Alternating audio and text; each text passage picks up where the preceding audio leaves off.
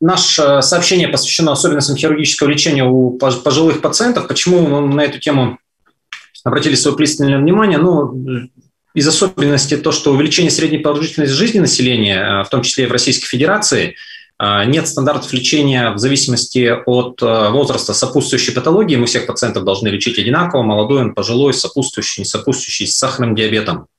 Кроме этого, с возрастом увеличивается частота первично-множественных раков. Мы должны определяться с тактикой лечения, какую опухоль мы будем лечить э, в первую очередь, как, с какой можно подождать, можем ли мы лечить их одновременно, какая химиотерапия может применяться у этих групп пациентов.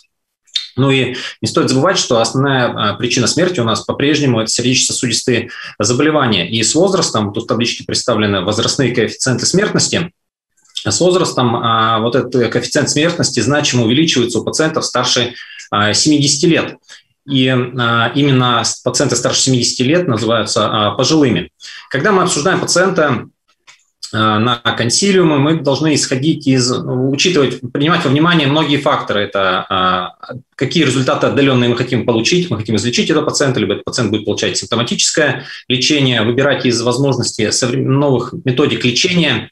А, кроме этого, оценка приверженности лечения, а, приверженность пациента к лечению, э, во главу угла ставить также качество жизни, учитывать желание пациента, а, какой метод лечения для него предпочтительнее. Немаловажный факт – это коморбидность и а, клинические рекомендации и доказательная медицина.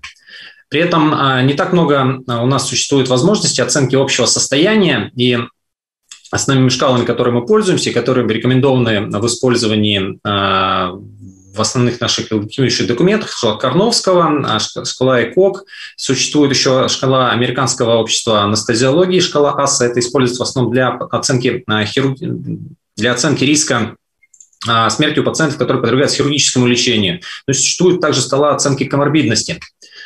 А, говоря о наших пациентах, о пожилых пациентах с опухолями головы и шеи, чаще всего эти пациенты, соответствующие э, шкале Американского общества анестезиологов э, степени 3, это пациенты с тяжелыми системными заболеваниями. Иногда мы берем на лечение пациентов с АСА-4. К сожалению, э, иногда у нас вариантов для выбора лечения не так много. Мы должны четко понимать, что хирургическое лечение для пожилого пациента – это такой спринт – когда мы наносим максимальную травму, и со временем пациенту становится легче, если не развиваются а, хирургические осложнения. При этом, если мы выбираем а, консервативные методы лечения, такие как лучевая терапия, то здесь это а, такой марафон, когда лечение начинается для пациента незаметно, и растянутые вот эти по времени лучевые реакции, лучевые повреждения, они достаточно сильно изматывают пациента. Поэтому, исходя из этого, нужно выбирать э, для, оптимальный вариант для пациента. Говоря об особенностях э, плоскоклеточного рака у пожилых пациентов, есть работы, посвященные этому. Отмечается, что у пожилых пациентов меньше количество метастазов в лимфатических узлах, даже при распространенных стадиях. У пожилых пациентов э, развитие рака меньше связано с генетическими повреждениями, но чаще происходит накопление генетических мутаций. Ну и у пожилых пациентов значимо увеличивается количество вторых опухолей. Об этом я уже говорил. А, еще одно крупное исследование, 266 пациентов. Тут оценивали общую выживаемость в группах пациентов 45-60 лет и старше 70 лет. Так у этих групп пациента э, общая выживаемость, она абсолютно не различалась. Пациенты одинаково лечились, но а, качество жизни а, также не, не имело различия в эту а, группу. На общую выживаемость влияла а, стадия опухолевого процесса, ну что закономерно, коморбидность и приверженность пациентов нетрадиционным методам лечения. Э, кроме этого, очень важный прогностический фактор у пациентов, э, э, пожилых пациентов, это выраженность сопутствующей патологии, коморбидности. Вот если исходить из оценки этой шкалы CI-27, то если количество баллов больше двух, а там всего максимум три балла, то это независимый фактор, влияющий на общую выживаемость. И летние показатели общей выживаемости вот в этом исследовании они значимо уменьшались у пациентов э, с двумя и тремя баллами соответственно. Кроме этого, есть работы, посвященные э, оценке развития у пациентов после хирургических вмешательств, э, у пожилых пациентов по развитию у них послеоперационных осложнений. Влияет ли сам возраст на развитие послеоперационных осложнений? И как видите вы на слайде, что у пациентов старше 70 лет и младше 70 лет значимых различий в развитии послеоперационных осложнений, как раневая инфекция, пневмонии, не было зафиксировано.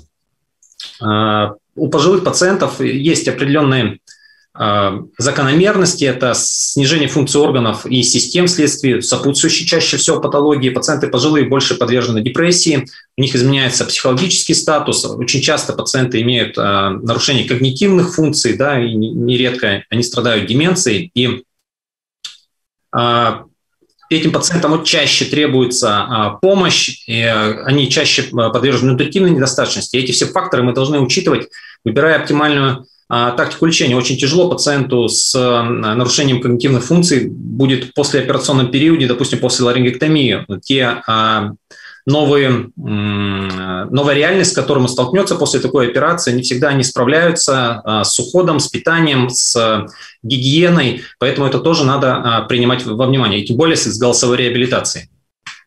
А, исходя из этого, вот авторы предлагают такую тактику, а, наблюд... тактику обсуждения пациентов. А, вот у пациентов оценивается локализация, стадия, гистологический тип. Это все стандартно, как и для других пациентов. Также проводится полная гериатрическая оценка, то, о чем мы уже говорили. И также у этих же пациентов также происходит междисциплинарный подход с учетом их сопутствующих пациент, ну, сопутствующей патологии. Кроме этого, обязательно это пожелание пациента. А, очень часто пожилые пациенты живут одни, не всегда им и очень часто требуется помощь, и наилучший выбор для них – это персонализированный подход, как в хирургии, так и в лучевой терапии, химиотерапии и комбинированной терапии.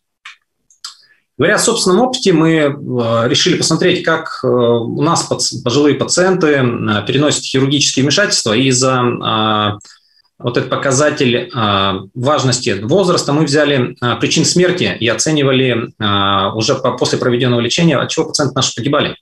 Мы оценили пациентов за 2018-2020 год. Эти пациенты выполнялась ларингектомия, лимфоденектомия, трахеостомия, стандартный объем –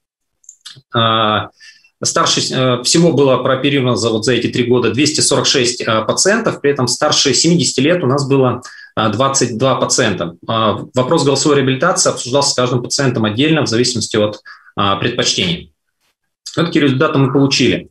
Основную группу составили группа пациентов 60-69 лет, это 126 пациентов, старше 70 лет было, прошу прощения, Старше 70 лет а, было 22 пациента, при этом а, младше 59 лет 94 э, пациента.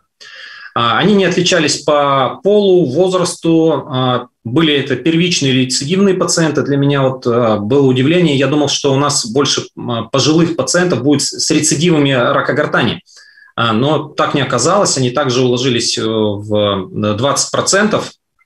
И Э, стадийность также у этих пациентов абсолютно не отличается. Большую часть э, составляют пациенты ну, с третьей, четвертой стадии. Это действительно те пациенты, которым показана ларингектомия. Вот первая, вторая стадия э, Первая стадия – это практически все пациенты, которым проводилась лучевая терапия, у них был выявлен рецидив, а Т2 – это пациенты, у которых, несмотря на то, что распространенность небольшая, были метастазы лимфатические узлы шеи. Видите, что распространенность по лимфатическим узлам также присутствует, и большинство пациентов – это пациенты с категории N2.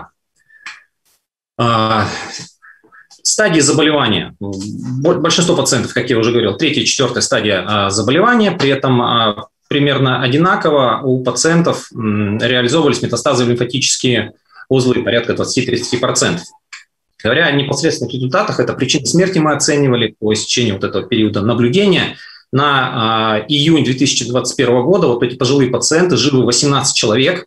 Э, у всех этих пациентов причина смерти стоит рак гортани. У одного пациента был, развился перистомальный рецидив, у одного пациента э, метастазы в легкие. Отмечался один локальный рецидив с метастическим поражением лимфатических узлов шеи. И э, э, мы не отмечали причин смерти от сопутствующей патологии. При этом а, при анализе вот всех групп по причинам смерти стоит отметить, что у пациентов примерно в одинаковых пропорциях да, отмечается а, основная причина смерти в большинстве случаев – это а, рак, рак гортани. стоит в заключении о смерти, то есть 70%, 58%, 80%. Основные причины смерти – это перистомальный рецидив, наибольшее количество – это пациентов 60-69 лет. И также отмечается локальное прогрессирование за счет рецидива в области либо верхних отделов глотки, либо метастатического поражения лимфатических узлов шеи. Отдаленное прогрессирование, чаще всего это метастазы в легкие, в печень, очень редко кости и передняя поверхность грудной клетки, кожа. И без признаков прогрессирования, то это группа пациентов, в медицинской документации которых мы не нашли данных за прогрессию, несмотря на то, что они наблюдались активно, они, у них нет жалоб на какое-то проявление болезни, будь то локальное либо отдаленное, но при этом в справках смерти у них стоит рак гортани. Стоит отметить, что достаточно большое количество пациентов а, умерло от а, сердечно-сосудистых заболеваний или от сопутствующих заболеваний. Вот от инфаркта умерло большинство пациентов в возрасте 60-69 лет. При этом старше 70 таких пациентов не было. А, появились пациенты, которые погибли от ковид-инфекции в 2020 году. Сюда входят также и обычные пневмонии, которые у пациентов ларингектомированных мы понимаем, что развиваются очень легко. Э, другие причины смерти, некодируемые, также отмечались вот в этой э, наибольшей э, группе. При этом стоит что, отметить, что есть такие причины смерти в справках о смерти, как алкоголизм, ВИЧ-инфекция и отравление. У двоих пациентов в причине смерти стояло отравление. При этом также есть группа пациентов, причина смерти которых неизвестна.